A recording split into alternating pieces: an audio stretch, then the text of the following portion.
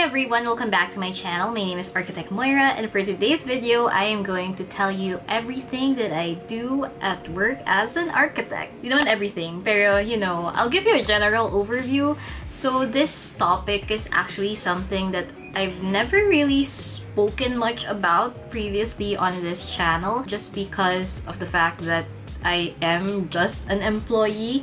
Hindi naman ako yung may-ari ng kumpanya. So, it's not like I can disclose every single thing that I do or yung mga projects, ganun. I'm not gonna be doing that, okay? But this video will just be, yun nga, parang general overview of what it's like to be a project manager in architecture. Kasi, ayun, I work at the project management department. Hindi ko sure kung nasabi ko na yun before dito. But yeah, I just really wanted to share it with you guys kasi I know when I I was starting out, I had no clue what I was gonna be in for. Sobrang iba kasi ng mga ginagawa from college, ganun. And fresh grad ako, I didn't know that pwede palang maging project manager. But the opportunity came to me, I said yes, and yun, ang dami kong natutunan. If you're curious about what it's like to be an architect in the Philippines, to be a PM architect in the Philippines, um, then this video is for you. And before I start, mag-disclaimer na ako that the views and opinions of this host does not reflect that of the company, the management, and the network chart. Yeah, this is just based on my own experience. Um, probably sa ibang company, iba din yung pwede mong ma-experience if ibang position din yung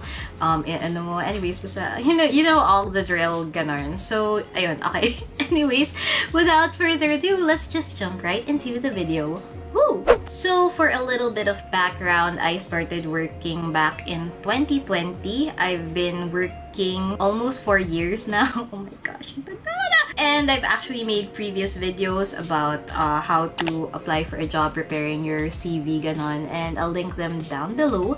And there, I discussed na you can go for either a small firm or a bigger company. And very magkaiba sila kapag smaller firm ka kasi I guess mas marami kang pwedeng ma-experience na kind of work in architecture while it being in a bigger company uh, the company I work for we're departmentalized kaya ako PM lang. So ayun I work at a bigger firm. I think we're around like at most 150 people in the company and we're departmentalized into three. So there's project management, which is what I do. There's design department, which is yung mga nagde-design. And there's the technical department, which is yung mga gumagawa ng drawings. I also have a whole story time about how I got my job. If you want to know more about that and all that drama, you can click the link down below. So yeah, yun yung three departments that you could go into if you're going going into a bigger company, usually ganun naman yung departments nila.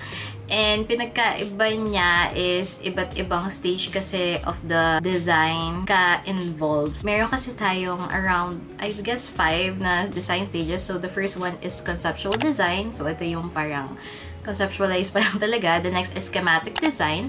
Next is design development, which is medyo mag-freeze plan ka na uh, last for construction drawings, and pinaka-pinaka last is the construction period. When you're a PM, you're involved in all of these stages kasi nga ikaw yung nagmamanage ng project so you have to be familiar from start to finish. Kapag design ka naman, usually involved ka sa start so that's conceptual, schematic, and I guess design development na rin kasi nga dun tayo mag-freeze ng plan. Then when you're in tech, you're involved in the DD, and FCD kasi doon yung bulk ng drawings na kailangan i-produce. Then for the construction period, usually PM na lang yung naiiwan kasi siya yung a-attend ng meetings, ganun. And then siya na lang mag-relay to design and tech if may kailangan ni-update with the design because of things na nangyayari sa site, ganun, etc. etc. So anyways, to the next part. So what are the tasks that I do as a project manager in architecture? So the first and foremost, kung di pa obvious, it's managing the project project. So like I said,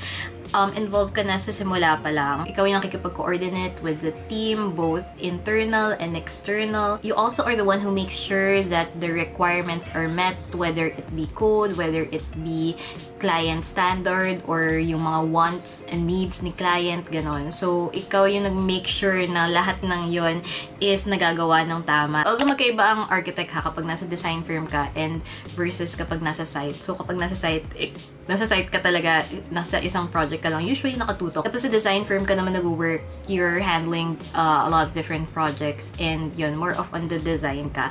Yung pag implement sila site na bahala doon. Pero kailangan yung, para mag-coordinate ni design, firm architect, and ni site architect to make sure na aligned yung ginagawa nila and aligned sa intent nung design. Anyways, your next task is to attend meetings. So, ayun, ikaw yung humaharap sa clients or sa engineers or whatever. So, sa core team, ganun. Kapag may meeting, usually dapat may PM na present kasi nga you have to take note of lahat ng mapag-usapan to make sure na yung ginagawa ng team mo aligned naman with kung ano man yung napag-usapan and napag-agreehan during the meetings. Next is coordination. So, ito talaga is like the biggest chunk of PM work. Minsan, nauubos yung buong araw mo na nakikipag-usap ka lang sa iba't ibang tao which is very necessary din naman talaga. So, yeah, ikaw nakikipag-coordinate with either internally which means like yung mga design and tech uh, people from your firm, sa mga boss mo, ganun. You're also the one coordinating with clients and yung mga engineers, yung mga people sa site. Ayun, ikaw yung nakikipag-usap. So, as an introvert, sobrang nag-grow din ako. Kaya ko nang makipag-usap sa tao kahit papano dahil nag-PM ako. Next is code checking. Uh, this is something na mas natutunan ko lang din nung nag-start na ako mag-work. I mean, sure, we studied this when we were in college. We learned about the NBC, yung fire code, accessibility law, etc. etc. But I don't think I really paid much attention to it. Like, siguro general lang yung alam ko.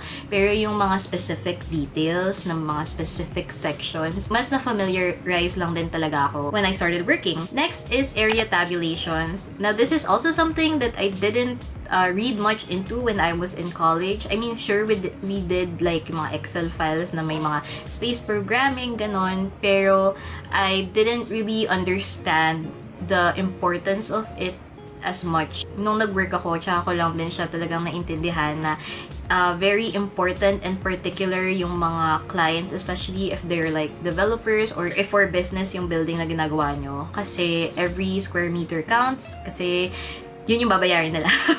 so, yeah, kaya din siya importante. Next is documentation. Since involved ka from the very start, kailangan lahat, alam mo, nag-take down notes ka, ganun. Um, you're gonna do the minutes of the meeting, gawin din yung nagpre-prepare ng specifications. It's, it's a lot of documentation, like sa emails and everything. Yeah, but important din yun kasi kailangan may resibo ka ng lahat ng design decisions na ginagawa. Next is site visit. Madalas ikaw yung nakakasama kapag may site visit. Parang hindi naman naman nawawala na may PM during site visit.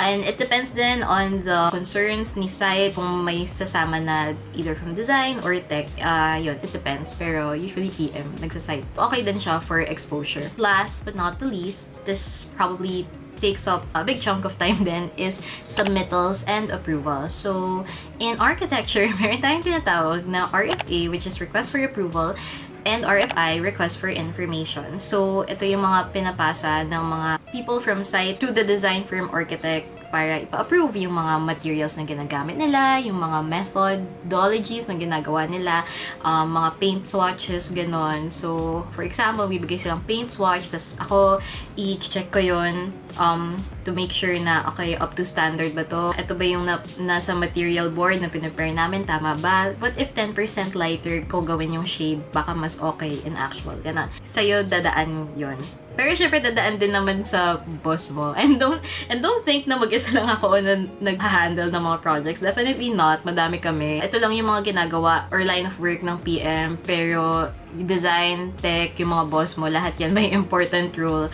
na piniplay. Kailangan nyo talaga mag-work as a team para tapos yun yung mga project. So those are the things that I do as a PM in architecture. Huwag kayong matakot. so funny kasi I feel like sobrang technical din ng mga sinasabi ko. Pero hopefully hindi naman maintindihan nyo pa rin. And just to, ano, para hindi din kayo matakot, I'm gonna share a few things that I like about being a project manager in architecture. First and foremost, it's a type A kind of job. So, sobrang That's my lane. That's my forte. Uh, I love organizing. I think it's fun. Na-enjoy ko naman yung ginagawa ko. And marami din nga akong natutunan. Second is that PM work is slightly more objective than subjective. I mean, syempre may pagka-subjective pa rin kasi in architecture, it's all about design. Design is subjective. Pero at least hindi ako yung main na nag-handle ng design. And I'm really glad that I got to take a step back from design when I started working. Kasi I feel like in college, it was all about design. It was all about the concepts, ganun. And medyo na umay ako sa kanya a bit to the point na parang sa akin, parang sa akin ba talaga architecture? Ganon.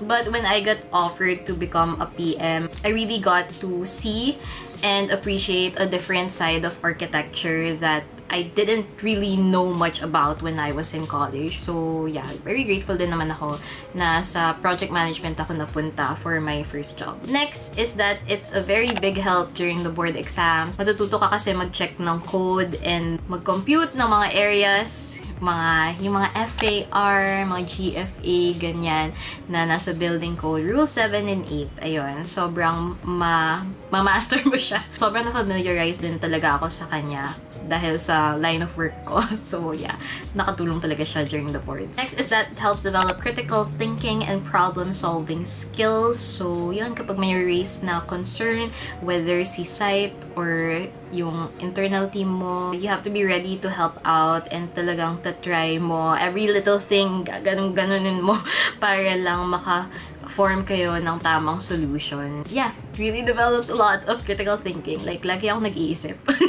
And last but not the least, being a PM really helped me grow out of my comfort zone. It was during Christmas noong 2019 and I really prayed na I would find a job that's one, not toxic, and second, pinaka mag-grow ako, not just as an architect, but also just a person in general. And I really feel like na nabigay yung wish ko na yun. Project management kasi, you have to talk to a lot of people, and ako, sobrang mahihain akong bata, as in, I was super shy. Pero ngayon, hindi na masyado. Shy na lang.